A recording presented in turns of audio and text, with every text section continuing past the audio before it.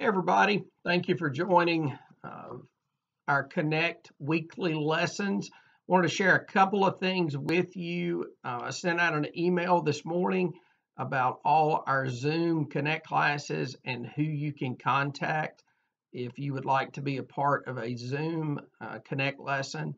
I know in these uh, that I've been leading the last few weeks, uh, I refer back to the pupil material quite often.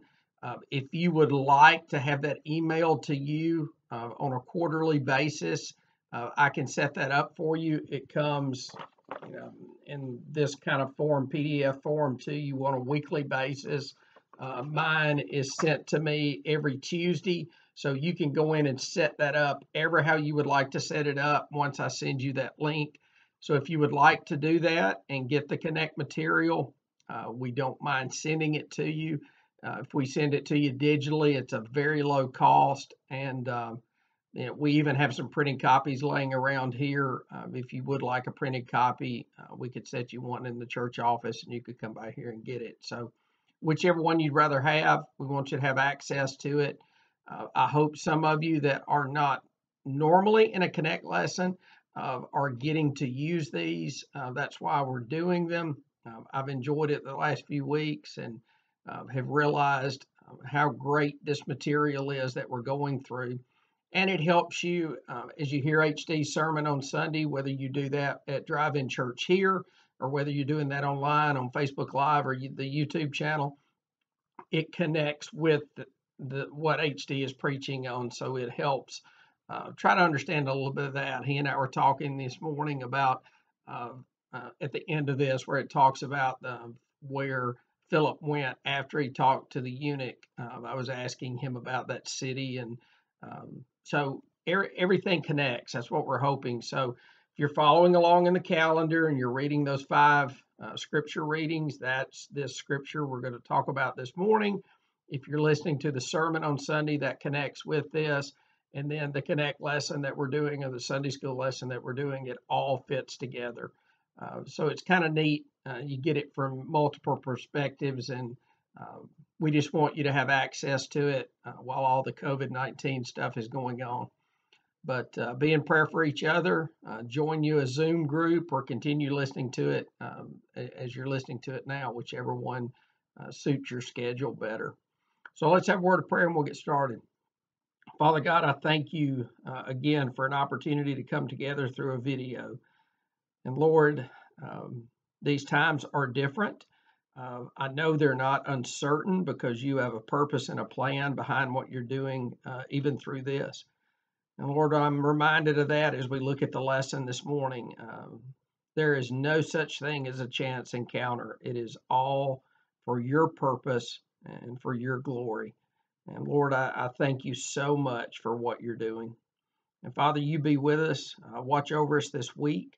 Uh, be with us as a church as we minister to our community. Uh, be with us as families that are walking through a different time than we've ever walked through before. But Lord, you keep doing incredible things in the midst of the chaos of the world that is around us. And Lord, we love you. We thank you. And you keep working in us and around us for your glory and for your will. And we pray all these things in the precious name of Jesus. Amen. So, the title of the lesson this week is A Spirit Empowered Evangelist. And we're going to look at Philip uh, and the story of the Ethiopian eunuch. Um, if you believe what the world tells you, then you believe in happenstance. Um, things just happen.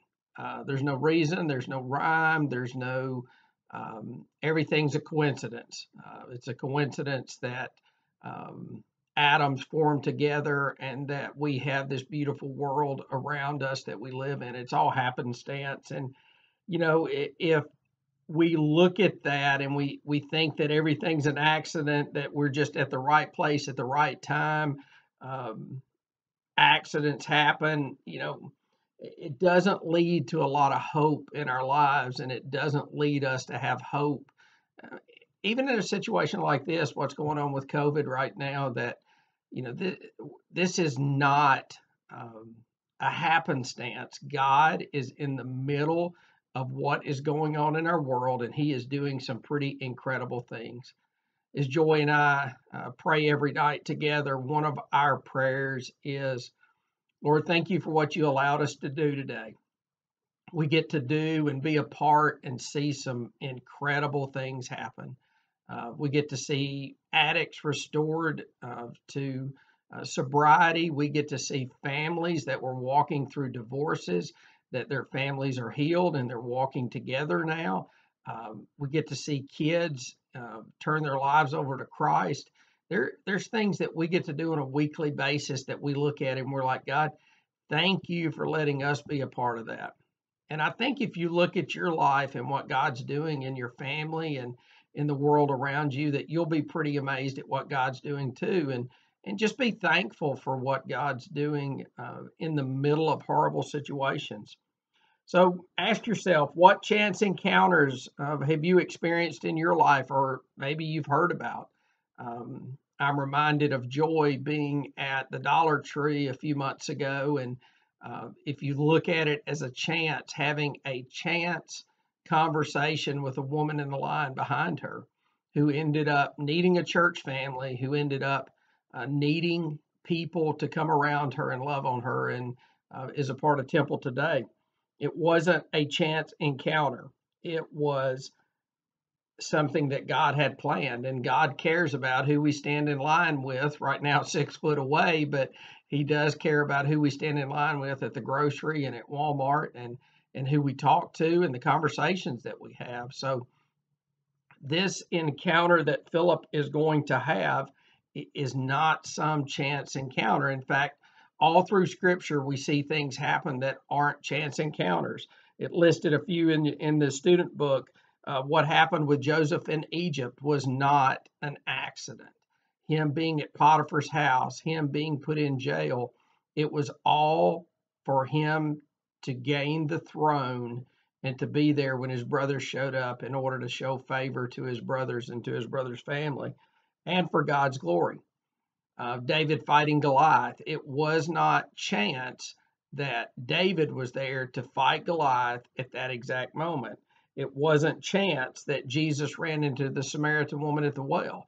It was all part of God's will and for His glory and for our good and for the good of other people.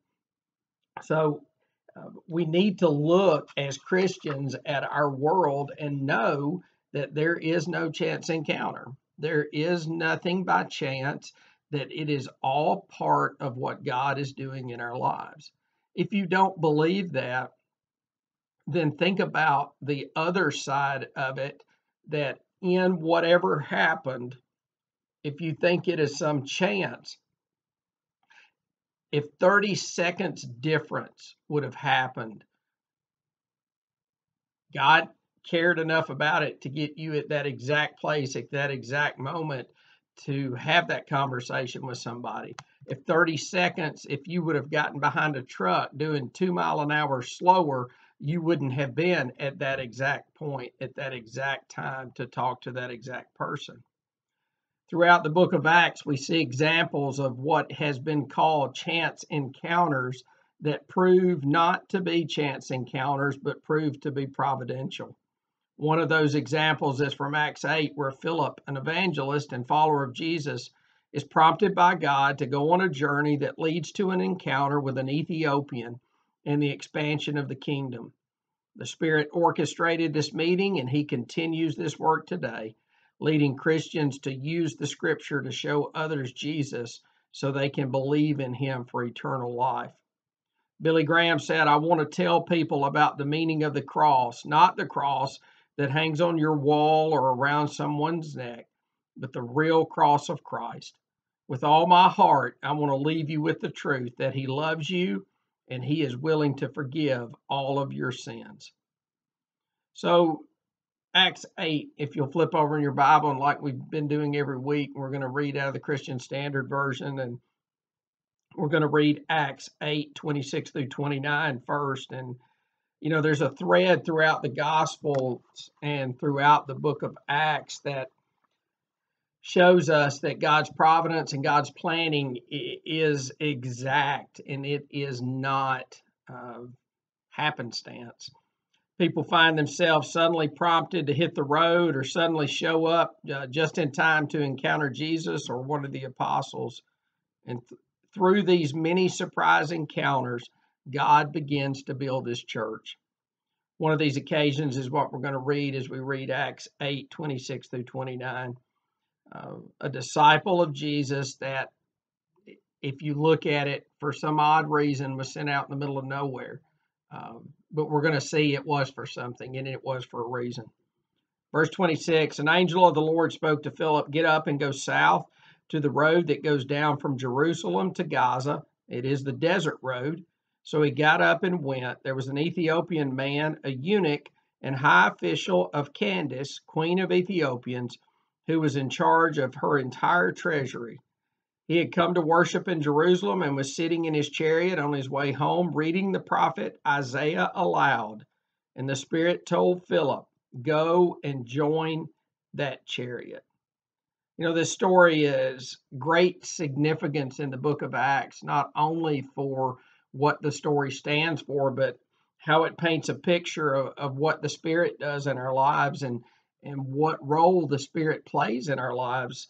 So let's look at the story. Um, it talks about Ethiopia, and at this point in time, Ethiopia is about as far away as you could get. Uh, to talk about Ethiopia would be like talking about the other side of the world. Uh, even though when you look at a modern map today, it doesn't look that far, you have to realize uh, their mode of transportation and our mode of transportation was entirely different. So these regions were so far apart to everybody that um, when the Spirit came to Philip and said, "Join yourself to the chariot," uh, it, this was a long distance. This was something that to put an Ethiopian in the middle of the story. Um, I mean, it's these are long distances away from each other. So uh, it does mention and it does talk about the global uh, significance and global scope of the gospel. Um, this gospel is not just for us in the middle of White House, Tennessee. Uh, this gospel is to reach the ends of the earth. And we need to be good stewards of what we're doing to take it to the ends of the earth. Um, I love the fact that we are reaching through our Foreign Mission Board unreached people groups all over our world, there are groups of people that have not heard the gospel. Uh, it's an interesting trip to go to the Bible Museum uh, that the owner and founder of Hobby Lobby built in Washington, D.C. And in the middle of the Bible Museum is a room that has um, all the Bible translations and languages where the Bible is translated into on one side of the room, and then on the other side of the room is all the languages that the Bible has not been translated into yet. The largest majority of them are on the side of the untranslated group, uh, and it is a challenge that you know we've still got a lot of work to do. Uh, we still got a lot of work to get the gospel to the uttermost parts of the world. The story of the Ethiopian reminds us that the Lord is working in the hearts of many people to draw them to Himself and that those people are responding. You know, that's the only hope uh, that we have that we can share with anybody.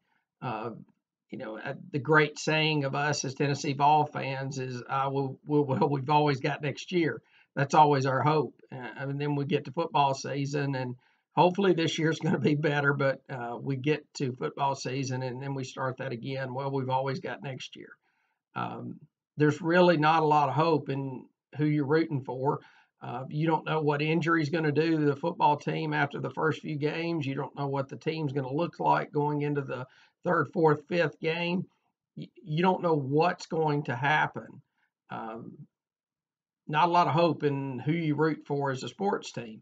Um, the only hope that we have that we can share with our world around us is the hope that we have uh, through our relationship with Jesus Christ. How have you witnessed people looking for hope and meaning in all the wrong places? We see it all around us. Uh, people trying to fill a God sized hole with anything but a relationship to God.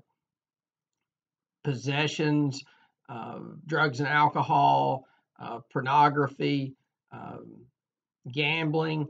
Uh, they try to fill that hole inside of them that can only be filled by a relationship with a holy God.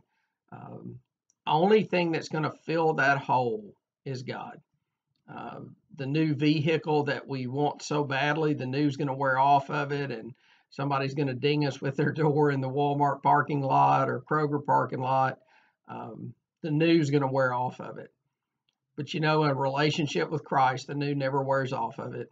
Uh, Bible says that His mercies are new every day, and man, what an incredible thing it is to wake up each and every morning with new mercies. What it is to wake up every morning with a new relationship with a holy God um, and be able to walk with Him each and every day. Philip was sent by God for just one of these encounters. Uh, upon hearing of the angel's command, Philip obeyed. He dropped what he was doing and headed out on the road. Uh, just a few verses earlier in the eighth chapter, verses four through eight, uh, Philip was enjoying a thriving ministry. Things were going great for Philip. Let me read those verses for you. So those who were scattered went on their way preaching the word. Philip went down to a city in Samaria and proclaimed the Messiah to them, and the crowds were all paying attention to what Philip said. And as they listened and saw the signs he was performing, for unclean spirits, crying out with a loud voice, came out of many who were possessed, and many who were paralyzed and lame were healed. So there was great joy in that city. So uh, there's a whole lot of reasons that this encounter shouldn't have happened. Uh, there's a whole lot of reasons as we look at it from the outside looking in. In fact, there's six different reasons. Uh, first is Philip had a good thing going on in Samaria. Why would God call Philip to leave a, a wonderful and exciting ministry to go and talk to one person? Well, that's how important the one is. Remember the story. Uh, he goes and leaves the 99 to go and look for the one. And we all at some time have been that one. Uh, that's how much he loves you. Another reason, um, he might Philip could have just stayed home and enjoyed the community he was already a part of. Uh, why go and do this? Why leave a thriving, believing community to go talk to somebody else?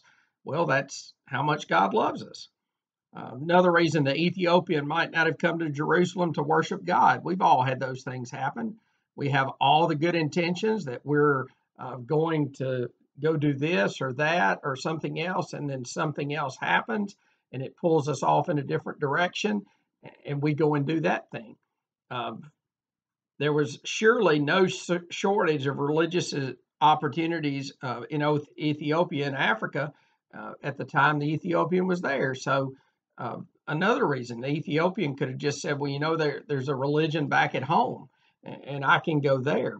Uh, Philip might not have overcome the social anxiety that would have been accompanied with him talking to this uh, Ethiopian gentleman from the political government. Uh, Ethiopian ethnicity was different from Philip, but he removed all those barriers and all those hurdles out of the way because he knew what God was calling him to do. Luke tells us that uh, the Ethiopian was a high official of Candace, queen of the Ethiopians. Uh, Philip was an ordinary Jew living in Judea, a common person, an ordinary guy, and he was going to approach someone of the Ethiopian's higher station. And it couldn't have been easy. It would be like you walking up and talking to um, somebody that's way up in the government. Uh, I had the opportunity a few months ago to meet with John Rose, who is our um, U.S. legislature uh, in the House of Representatives right now uh, for our area.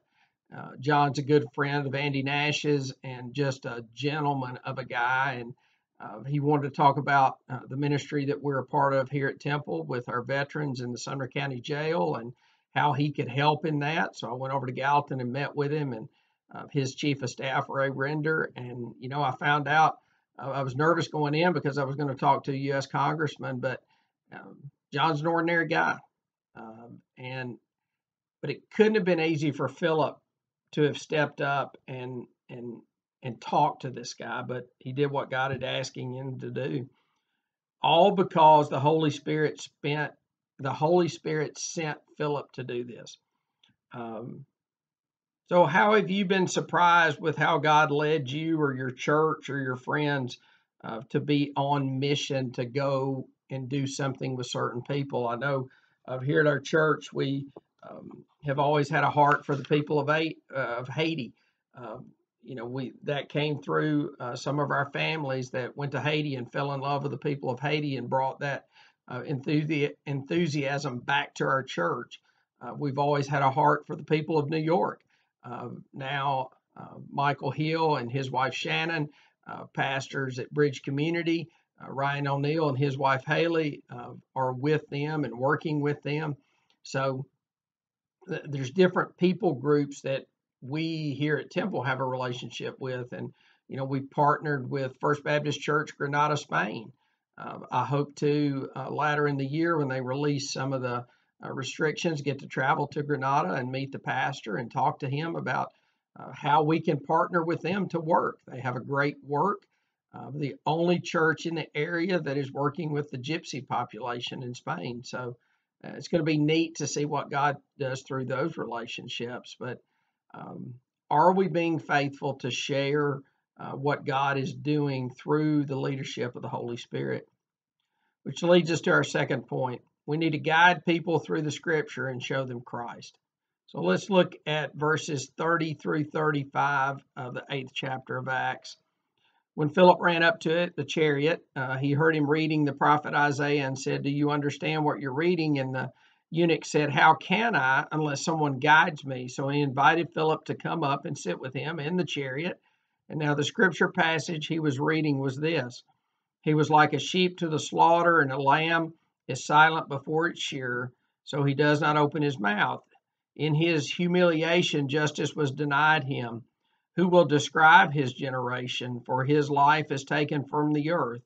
And the eunuch said to Philip, I ask you, who is the prophet saying this about, himself or someone else? And Philip proceeded to tell him the good news about Jesus, beginning with that scripture. More evidence appears here to show how God was laying the groundwork for the encounter. The Ethiopian uh, was immediately receptive to, to Philip. He uh, it's kind of like he knew who Philip was. Uh, whether he had heard of who Philip was or knew who Philip was, he invited him up to share with him. And, uh, you know, one of these things, again, he just happened to be reading those verses in Isaiah, not chance verses, uh, not chance at all, because he was able to use those uh, to lay the groundwork to share the gospel of Jesus Christ with him. You know, Philip was just an ordinary guy, but he was an ordinary guy filled with the Spirit and he was filled with the Spirit where he could go and talk to this eunuch. You know, sometimes the Bible is a scary thing because we look at it and we're like, gosh, I, I don't understand it. I don't understand all the idiosyncrasies. I don't understand uh, maybe the the theme or the I, I don't understand it in depth. Uh, you see behind me uh, sets of commentaries that I look at and I read. Uh, because sometimes it's hard to understand. Sometimes we look at it and we're like, gosh, what in the world is that saying? Uh, the set of commentaries I have over here uh, was actually a set of my dad's that he gave me, uh, written by B.H. Carroll, uh, who is a great Baptist father. Uh, we always claimed uh, being kin to him, but we're really not. Um, so the the Bible sometimes is hard to understand, but stick to the basics. We talked about that a few weeks ago when we covered the Easter lesson of the four pillars of the faith that that Paul shared that Jesus uh, came and walked this earth, he died, he was rose on the third day and he appeared. Uh, that's the pillars of the gospel and we need to stick to those and Philip proceeds to share with him the good news and you know it's it, it's nothing to be afraid of that you're going to share the wrong thing because you're not sharing uh, what you want to share, you're sharing what God wants you to share. And there is a theme throughout Old Testament, New Testament that runs through Scripture. Uh, in fact, B.H. Carroll wrote a book, a little small red book uh, that probably hundreds of thousands of copies were publicized uh, called The Scarlet Thread. And it talks about the blood of Jesus Christ is woven from Old Testament to New Testament. Uh, we need to share the good news. So, do you think it's possible uh, to tell the good news of Christ from anywhere in Scripture? And it really is. Uh, one of the great things that the Gospel Project literature does is it points a connection to Christ. Even as we studied Old Testament scripture back in year one and year two, it points to the Christ connection because there's always a Christ connection in scripture and in what we're talking about. Be sure and share scripture. That's what this is all about. You know, Philip could have gotten in the chariot with him and shared this big theological point and his opinion and his opinion about who Isaiah was talking about, but he didn't share opinion, he shared fact. And be sure that what you're sharing with other people is not opinion, but scriptural fact. When you share things with people, you give people advice of, you know, hey, I'm I'm in a tough situation, and would you share with me what you might do that we remove opinion from it and we share fact. Uh, I think that's important. You know, even Jesus rebu- rebuked the Pharisees on this exact point. John 5 38 and 39, he said, You don't have this word residing in you because you don't believe the one he sent. You pore over the scripture because you can have eternal life in them, and yet you testify, and yet they testify about me. He was saying to them, You know all the scripture, but you don't know who the scripture is talking about. So be sure you're sharing with other people, even though it's intimidating, what the gospel is and the truth of the gospel. Last point lead others to respond in faith. Verses 36 through 40. As they were traveling down the road, they came to some water, and the eunuch said, Look, there's water. What would keep me from being baptized? So he ordered the chariot to stop, and both Philip and the eunuch went down into the water, and he baptized him. And when they came up out of the water, the Spirit of the Lord carried Philip away, and the eunuch did not see him any longer, but he went on his way rejoicing. Philip appeared in Azotus, and he was traveling and preaching the gospel in all the towns until he came to Caesarea. All of the elements of true conversion are here. Uh, that the the Ethiopian eunuch was converted. He was eager to believe. Uh, he wasn't pressured to make some kind of decision. And, you know, you can do that in talking to somebody about Christ and, and try to make them make a decision. But he explained the scripture to the eunuch, and then the eunuch was eager to make a decision to accept Christ. And when he did, he knew the need for baptism and he saw the need to be baptized you know, evangelism and conversion are really that simple. Uh, scripture says it's so simple a child can understand it. And one of the things we need to understand is as we share Christ with people, that it calls for them to make a decision. Uh, one of the great things I enjoy about Gene Hanna is I, have heard Gene witness to a lot of people. And when Gene gets through telling somebody about Christ, he will just ask them, um, You've got to do something with the information that I gave you. Uh, you can either trust Christ or you can make a decision that you're not ready to do that. But the gospel of Christ calls for a decision. Early in my sales career, uh, I worked for a company that sold construction supplies. In fact, the name of the company was Construction Tool and Supply. Uh, Mike Rogers hired me. I didn't have a lot of sales experience uh, going out and calling on people, but uh, Mike took a chance on me, and uh, I really enjoyed it, but um, my thing was I thought people would buy from me just because they like me, and you know that's not absolutely true because uh, yes, a lot of people do business with you because they like you, but um, one of the things that I struggled with was my sales just weren't what I thought they were going to be, and uh, Mike said, "Hey, let me ride with you one day. We'll ride down to Columbia," and I had a, a company that was one of my larger accounts that made industrial doors for airplane silos for our missile silos all over the world. And um, they used a lot of abrasives and drill bits. And um, I went in uh, with Mike that day, and I, I, had a habit of always carrying a new product with me in just to show something uh, to who the purchasing agent was. And I went in and I showed Tim uh, these new drill bits that a company had come out with. And man, we drilled stuff with them. They drilled twice as fast and twice as many holes. And uh, we left there and went and got in the truck and we got down the road. Mike said, Mark, pull over for a minute. I want, I want to ask you something. And he said, Man, I am so impressed with your product knowledge and what you knew about those drill bits and how you explained that to him. He said, probably as good as I've ever heard, but he said, but there's only one problem. You never ask for the sale. You know, I, I learned real quick, you, got to close the sale. And we went into the next account uh, down the road a little ways in Columbia and uh, went in, same pitch, but I asked before I left, how many can I send you? And I got an order. Um, you know, you've got to, as you present the gospel, you've got to ask for the sale. You've got to ask people, what are you going to do? Because God is holding them accountable at that point because they've heard the gospel. They can no longer say, well, you know what? I don't know that God loves me. I don't know that God wants to forgive me of my sins. I don't know that God wants me to accept him as my Lord and Savior. None of that can be said anymore. So they're being held accountable for what you've shared with them. And you've got to ask, would you like to receive Christ as your Lord and Savior? What are you going to do with that information? What are you going to do with the information that I've just shared with you? You know, it's really that important because you're sharing the only thing with them that is hope. We've got to get to the work of calling people to Christ. Uh, we've talked about it two Sundays in a row, and this will be the third. Who are you sharing Christ with? Who is the one that you're going to go after? Who are you going to go and talk to and ask for a response and share the gospel of Jesus Christ with them? It's exciting to be able to share that good news with people. And I'll challenge you.